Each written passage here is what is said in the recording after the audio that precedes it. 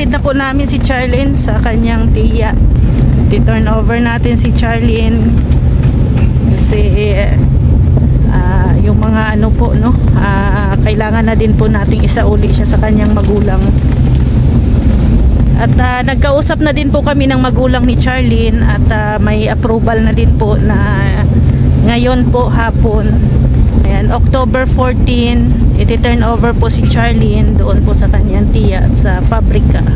So, yan mga kalingap dito tayo kasama si tiya. Tiya ni Nini at ah, ipapakancel natin tiya, ano, yung ano yung pinirmahan ni Kuya Bal dito. Kasi iti-turn over na po namin si ano si Nini.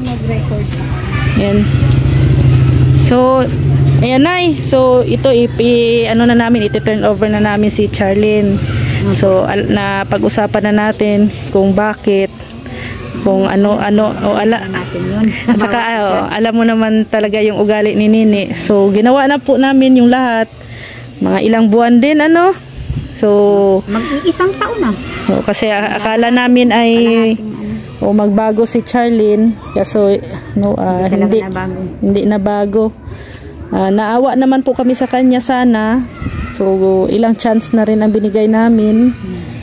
So hindi talaga gusto niya ta kasi talaga na na ano yung masunod siya, ayaw niyang pakialaman Para sa siya. kanya, sa kanya. Oo, kung anong anong gusto niya yun yun talaga no. Ang ibig sabihin, ang akala niya, makakaya niya siyang pasusundin. Oo, yung Tayo ang pasusunod niya. Oo, yun, yun ang ano, yung gusto niya na tayo ang susunod sa kanya. Kaya mas malungkot man po kami nay kasi syempre tinuring na din namin na anak yan si Charlene ay na pamilya. Actually, hindi ako makatingin sa kanya ng diretsyo. Naiiyak ako. Oo, naiiyak din ako nay kasi syempre naawa din ako dyan sa batang yan. wala po tayong mga din. Grabe ng pagtulong ko sa kanya, hindi namin nasa Mm, Actually, nag-usap na din kami ng tatay niya at nanay niya. So, sa inyo daw muna. Sa inyo daw po muna to. So, sabi naman ni Charlene, gusto niya kay Jess, Jessa. Oo, pero kay kayo na po mag-usap ni Jessa. Mm, basta ang ano ko lang dito ay ipapakancel natin muna kay Kuya ba yung sperma ni Kuya Bal dito na wala na po siya sa poder ng kalingap. Mm-mm. Sige, pasok na tayo na. Ayun na siguro.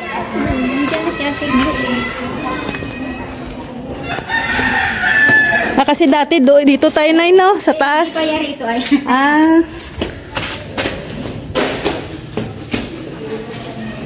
Hindi namin alam ano po talaga. Tama, sabi ko tama. Umuwi yun si nanay ano. Hmm. Sabi ko, Uwi naman daw po yung nanay niya at kukunin naman daw siya.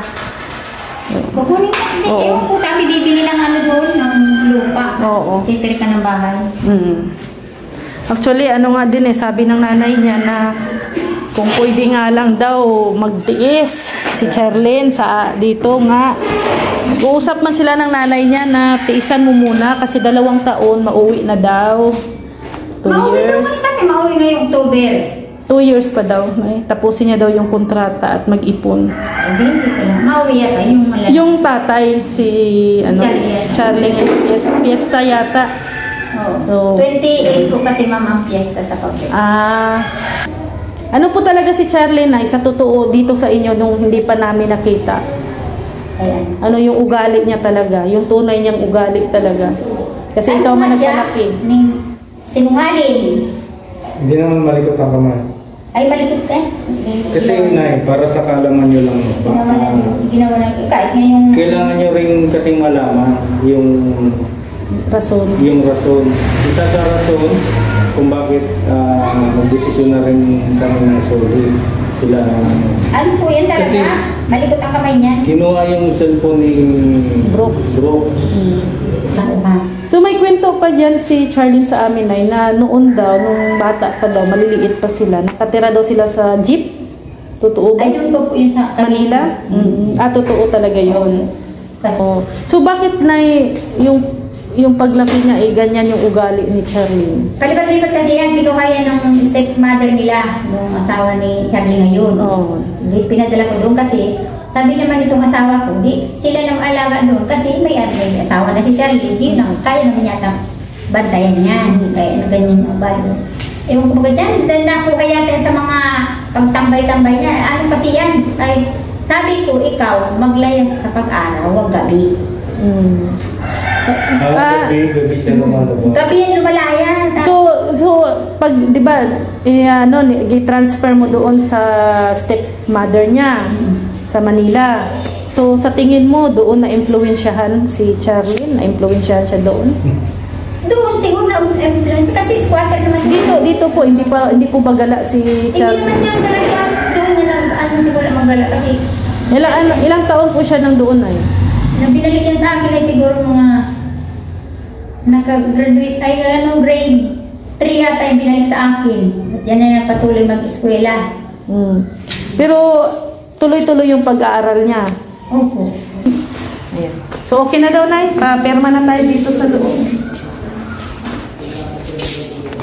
Yung po ilalagay ko dito na ano, kayo na po. Ang pangalan po, Rhea Olarte po. Mrs. Oo. Opo. Rhea Olarte. Colarte. Opo. Ah, taga saan po? Ah, sa- ano po, dyan po sa ah, Dugungan, Barangay Dugungan. Ay, kaulay lang nga ni. Sabi ko, gusto ko nga ni, eh, ano, ang maganda niya, Opo. na ipapunggal niya po yung lalaki. Nirescue baga namin yan dahil nga nakipag-live-in na dyan sa kasintahan niya kay G. Na. Nayanin ko kasi nung lalaki pa kasabab. Napin, ako niya naman, naraman naman ako nag-ako dyan. Bakit may cellphone po? Ang ni- dugungan dahil na yan, ano din na sa Oo, dahil na isip ko, kasamahan. Ah, Yung cellphone kasi ng sam- kasamahan namin, yung kapatid ni Kuya, kinuha niya. Eh, ngayon, nakita namin sa kanyang gamit at may video naman po ako na ebidensya. Kaya hindi siya makapag-deny. Mm. Hmm. Sa boyfriend-boyfriend sana, yung text-text okay lang sana yon kasi parang pwede pa nating mabigyan pa ng more chance. Eh kaso lang, eh maano yung kamay, malikot. Eh, katulad sa amin, vlogger kami, halos araw-araw, may mga bisita, may mga ano, eh cellphone ang pinakamahalaga sa amin. Eh kung may mawalan ng cellphone yung kasamahan namin, eh siya talaga ang ma maparatangan kasi may record. So yan din ang ano iniiwasan ang purpose namin. ninyo nang papunta nyo dito? Ayan Hindi turn over na po. Ito- I-turn over na sa tiya niya ulit. Ipapakancel namin yung yung kas- Yung una, kay Kuya pinirmahan Bal. ni Kuya Bal. Na wala na sa poder ni Kuya Bal si ano. Mm, si Charlie. Kasi hindi na po namin siya pananagutan ay Ano man mangyari, wala na. wala na. Kasi- Opo.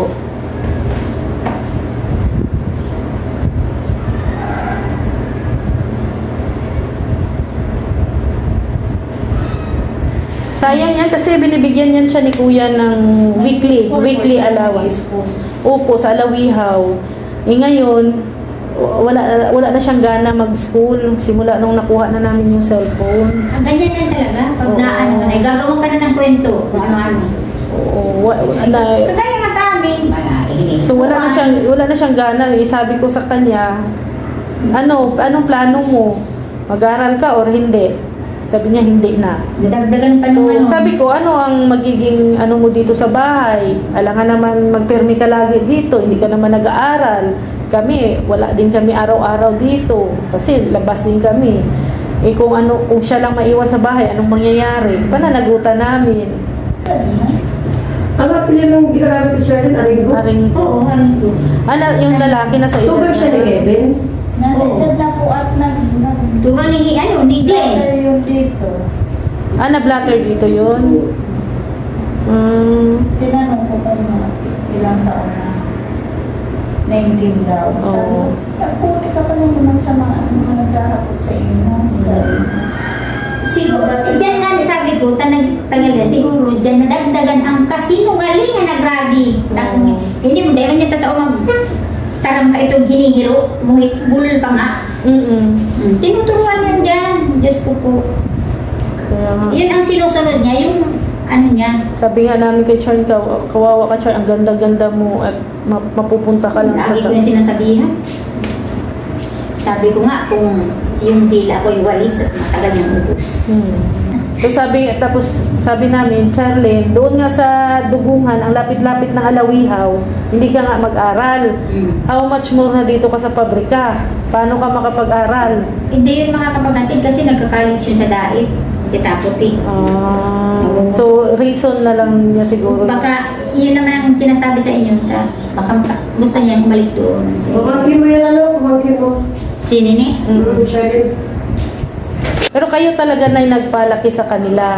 Oo. Hmm. Dinatingin niya sa akin, mali pa yan. Yun nga, yung isa kong anak ni si Cheryl ba, ay ano, nagkaanak din yun nung may kapansanan sa buhay. Hmm. Nagpunta ko doon kasi namatay. Hmm. Iniwanan ko sabi ko dun sa panganay, Mm. huwag yung iwanan yung mga maliit yung kapatid. Iniwanan. Ang kinain nila, bio tree. Anong biotree? Yung pagkain ng manok. Ah. Iniwanan niya dyan ay. So, ito po ang ginawa ko. Ano, ano po, uh, October 14, 2024, kami ng Cabilitas, Province of Comarines, Province of San Vicente, Barangay San Jose. Humilit ko muna sa ikapat ng hapon, lugurong sa tarapan ng barangay, sige na Leo Olarte, residente ng Puro 3, Barangay Lugungan, Daig Camarines Norte, isang isang vlogger na kasama ni Kuya Bar Santos Matubang na sa dahilan noong May 4, 2024, hinilingit sa kalangan lahat na may isang dalagitan na rescue umano dito sa Barangay San Jose na si Charlene Arengo na umano ay sumama kay AJ Lana kung kaya siya kinausap at sumama kay Kuya Bar Santos. Ngunit ngayong October 14, 2024, muling dumating dito ang grupo ng vlogger na si Ginang Ray upang i-turn over na uli si Charlene sa kanyang tiyahin na si Nieves A. Ormista na nagpapatunay na Sherlyn ay wala na sa pangangalaga ni Kuya Bal Santos, Matubang, at kani- kanila na rin ikakancel ang unang kasulatan dito sa barangay. Opo. Kaya po yan. Wala na po idalagdag.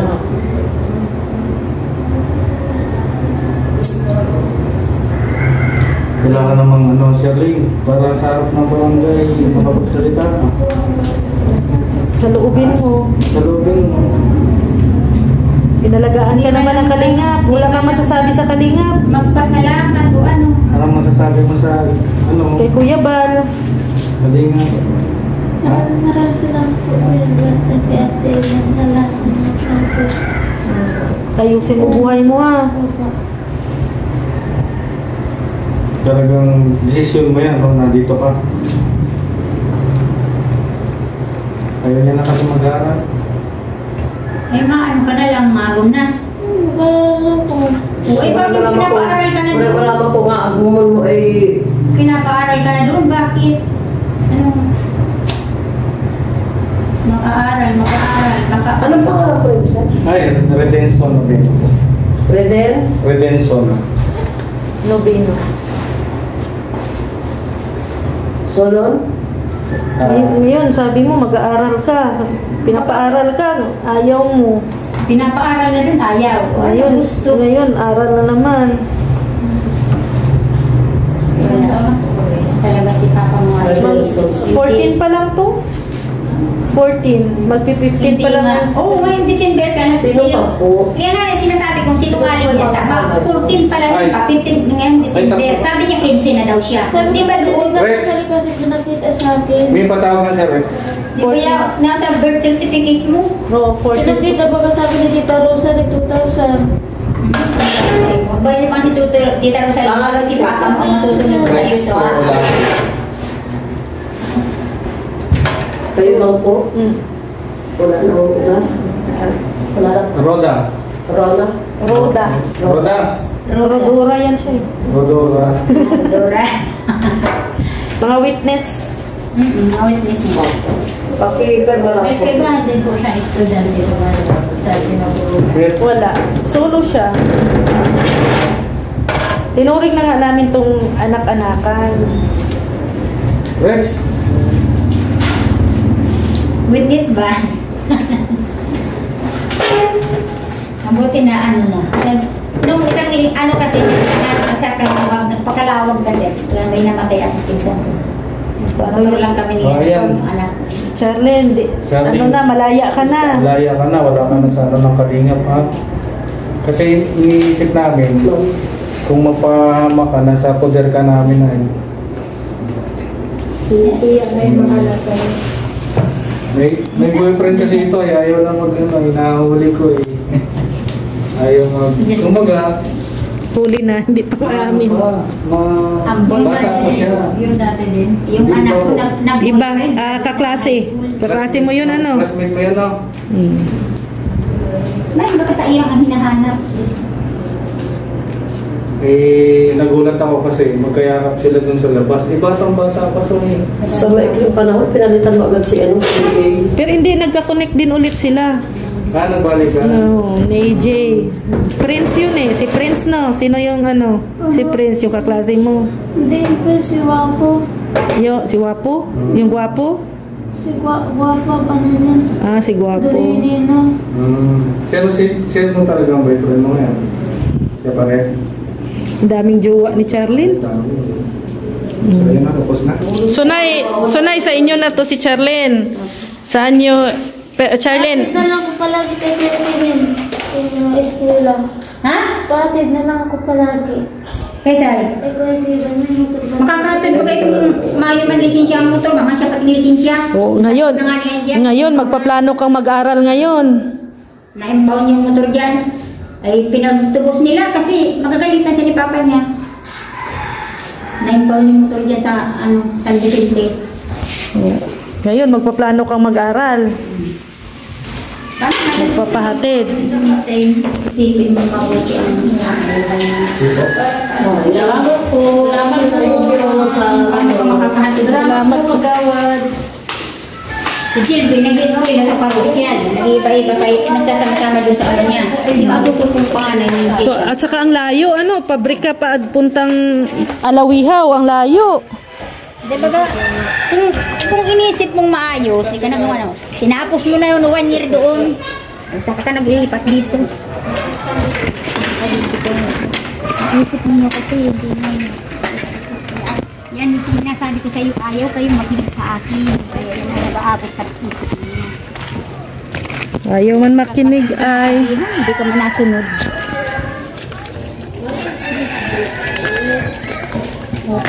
Ano na eh? Hmm. maaano naman ito Ma- si pabrika ka ulit. papa mo. Ito. Iwanan ka na namin dito ha. Si ah, papa mo. Niya. Hindi, itin doon kay nanay.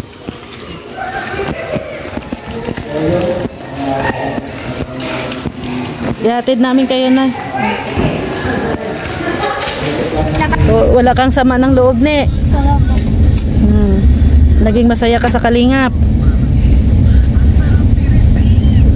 Mag ano ka ha, magbago ka ha. Ma- makinig ka sa mga payo ng tiya mo, ng papa mo. Ha?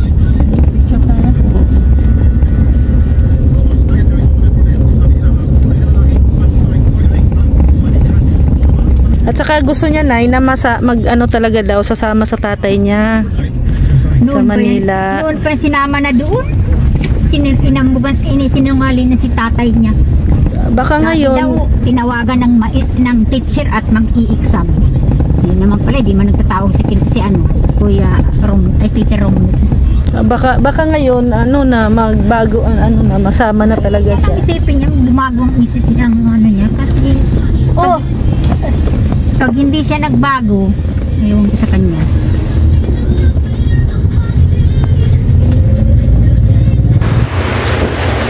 Ayan. Mabigat yung bag mo. Daming dami si tayo, no? Bukas.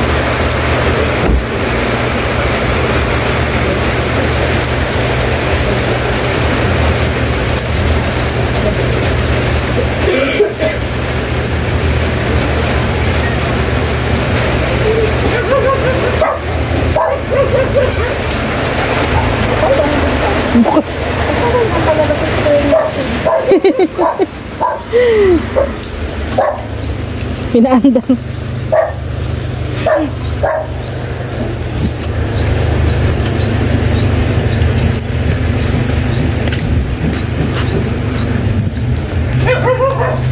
Oops. Oh. Gamit niya po. So, kunin mo yung... Ha? Wag mo. Tinignan nung po yung gatas. Okay na, Nay. Ayaw ko nang tumingin ng mga gamit. Bahala na siya. Ayaw ko nang tumingin ng gamit niya. Ah, na, nasa kanya na po yan. Oo. Okay na. So, dito, na- dito na ulit si Charlene. Sabi, sabi ni ano, tigwitan mo, mag-ayos ka lang yan, kung magkalayo ka. Ha, nandan si Jisa? Nandiyan po. Si Jisa. Hanap ka ni Ma'am Rhea.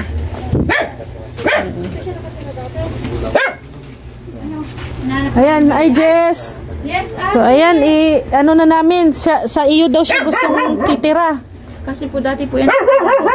Oo. po. Ewan ko sa kanya. Kailan po maano yan ay layas mo yan. Ha? Ayun po. Layas. Hindi ko po alam sa kay, kay, kay Kuya Elvin niya. Kasi sa 26, darating naman daw yung papa niya. Nakauli niya din. Sige po. So Charlene, wag, Hindi, hindi, hindi ka para ano. Hindi po yung cellphone mo, tawagan tayo si Charlie. Dara po. Dara po. wag ka daw para layas. Para layas nini. ah. Makinig ka sa kanila. Pero Kasi, okay ka man dig, di aram mo man, di ba? Nag-star ka na yung gisa ko. Yun na po. kasi syempre, ma, ano ka, matuto kang mahiya sa kung sino ang may-ari ng bahay. Dapat sana nga ni, simula na doon sa inyo, mahiya na. Ganun, ganun. Sinayang mo niya. Sinayang. Naku nini, sinayang mo ni. Dito ka na gaganda ang buhay mo. eh. Sayang. Nung nangyari sa'yo. Masaya na yata siya din sa tatlong sapatos niya eh. naman yan dyan lagi ni Papa niya. Kaso, pag ayaw nagsawa, eh, babayaan na niya kung anong klase. So, bueno, Lagi paano naman yan? So- Okay, Mauwi na kami So ha. paano na ni ha? Andyan na po yung asawa ko. Chay, Nandiyan na. Nay. kami. Andyan na po yung asawa Ah, ko. Na, Alas 5 na kasi. Sige po. Salamat, mas maraming salamat. kayo na po bahala kay Charlene. Pumaray po sa... Kuya Bal. Ano kay... Ay, Kuya Bal. Ang mukha kasi ni Kuya Bal. Kahawig daw ni Kuya Bal si Kuya Red Nobino. Salamat po sa ano, Oo. pag-alaga kay Nini. So ayan nini at ah, ano ha, makinig ka kay ate mo. Magpaalam ka na, magpasalamat ka. Oo. Tuloy ko sa, tuloy ko sa atin. Oo. May Sige, mag magpagali ah, mag-ano ka ah, nini ah, mag-ayos. Mag-ano ka. Ay, hello. Oh, bless. Oh, God bless. Ay, magaling na. Ito po 'yun oh, yung mayroong ano. Oh, yung may ano siya, may skin problem. Ito yung ano sana oh. Kaso mahiyain ay. Yayin po siya. Oh. Oh, anak ni Jessa may skin problem. Hindi na Kuya. Kuya Balbayan. Eh, Hindi, Kuya Kuya Red yan. Kuya Red. Ano ni Kuya Batawan? So kuya, i ano na namin? I-balik. Ano naman na kami ni Tia. Si Tia na magpaliwanag. Sanay Padating matuto. naman daw si Charlie Berto. 26. Sige, bye-bye. Charlene ha. Salamat, ma'am. Ayaw ko Sige, ma'am. Okay lang, wala. Oo, opo. Sige po. Sige po. Opo, salamat.